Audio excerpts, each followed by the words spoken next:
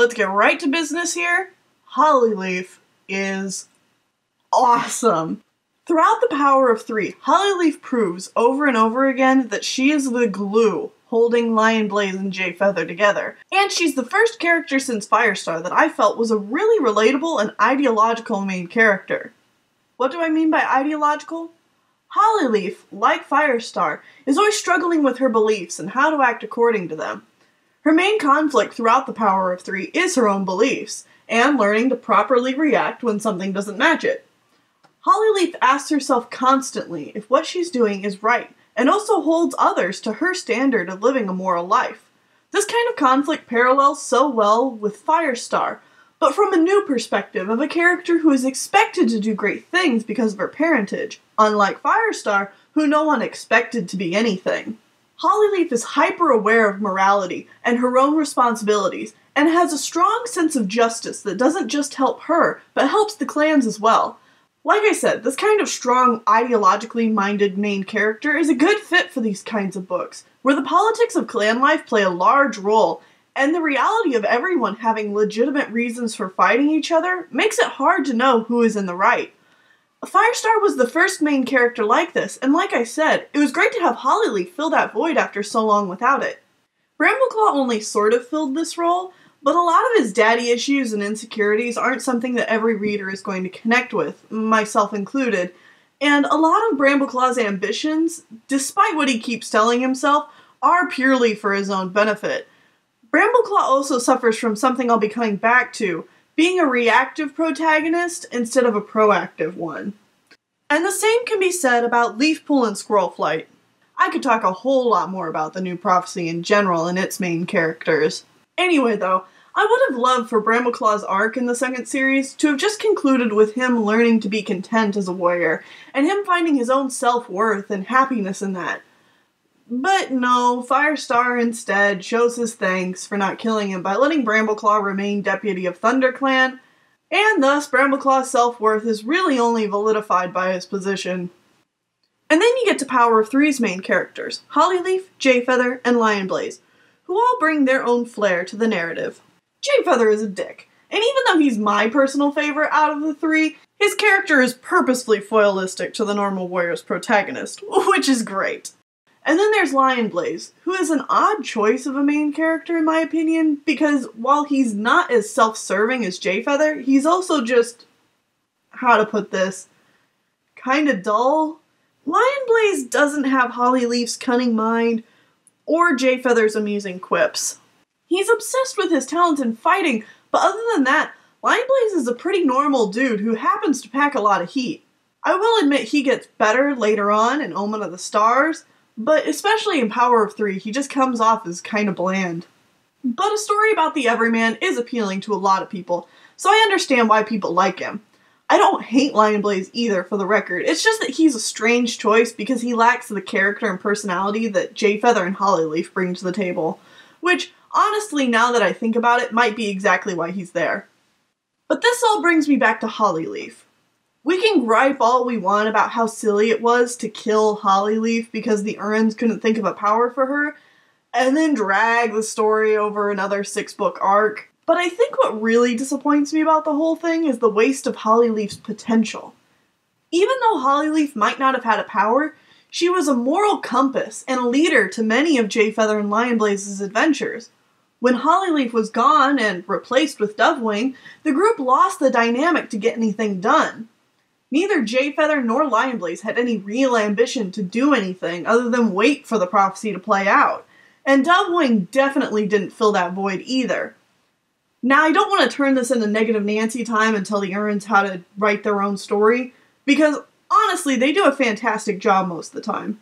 But I can't help but think that axing off Hollyleaf's character is a cause for a lot of the problems in Power of Three and Omen of the Stars.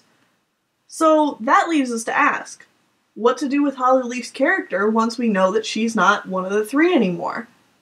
Because, you see, guys, we can complain all we want about how some things played out, but I've always kind of had a mindset that if you don't know how you could potentially fix the problem, you shouldn't be the one complaining about it either. So, Here's some possible solutions to what they could have done with Hollyleaf's character instead of killing her. First of all, they could have just done nothing. Just because Hollyleaf isn't special doesn't mean she needed to die. Like I said, Hollyleaf was the only one with the moral compass, and for the record, she got shit done. Unlike our other protagonists, who were reactive, Hollyleaf was proactive. After all, that's why out of the three of them, Hollyleaf was the one to kill Ashfur. Not spiteful Jayfeather, although who says he wouldn't if he could have, but still, he didn't. Or OP Lionblaze, but get shit done, Hollyleaf. And good for her too, because Ashfur is such a piece of fox dung. Rick? Summer? Stupid mother! Stupid witch! Stupid mother! Keeping Hollyleaf around means you could still have the backbone and the brains of the group. And now you get to see how Hollyleaf faces the consequences of her actions and how she reacts to finding out that she's not one of the three. Which might sound like Ivypool's arc, but unlike Ivypool, their stories could parallel each other. And while Hollyleaf starts at her lowest point ever, she can overcome her jealousy and figures out her place in the world, becoming more than just one of the three. Ivypool, on the other hand, struggles and just can't shake her jealousy, and Hollyleaf is the one that Ivypool can confide in. Or, for a darker turn, for all you edgy folks out there, Hollyleaf's jealousy does get the best of her. And it's her jealousy that leads Ivypool down the path to the Dark Forest. Hollyleaf becomes the grander villain that Omen of the Stars was missing, and rises to power right under everyone's noses. And the three realize that they have to become proactive and do something about Hollyleaf before it's too late.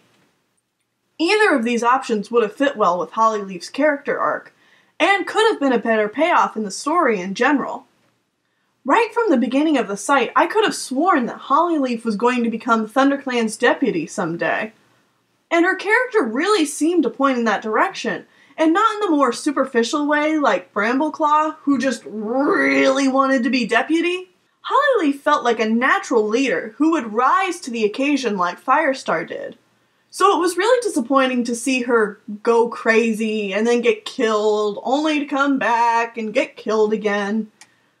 But no, she does die, and thus her whole arc kind of feels like a waste of time. Around Long Shadows, Hollyleaf's arc starts to make a drastic change from being about a good warrior and living up to her own high expectations of herself, and more about her insecurities of what others think about her, which leads to her downfall.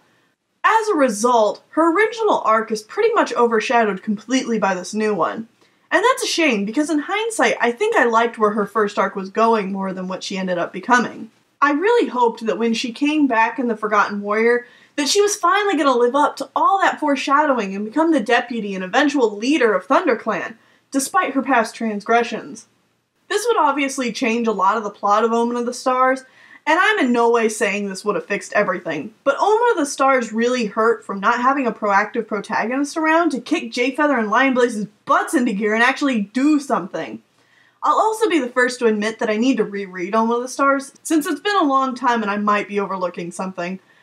And for the record, I wouldn't change the books for anything, but seeing alternate timelines where Hollyleaf stuck around would certainly be interesting. Who even is ThunderClan's deputy now? Squirrelflight? Oh, come on!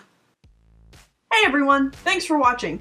Did you notice the lack of Hollyleaf like I did in Omen of the Stars? Speaking of Warriors AUs though, here's a plug to Cushfuddled and her comic, Twin Shadows, which is an awesome comic that explores a Warriors AU where Firestar never joins ThunderClan and remains kitty pet. It's done traditionally in markers and it's so amazing. Her colors and character designs are worth looking at alone, but the story is actually really interesting as well. Go check it out.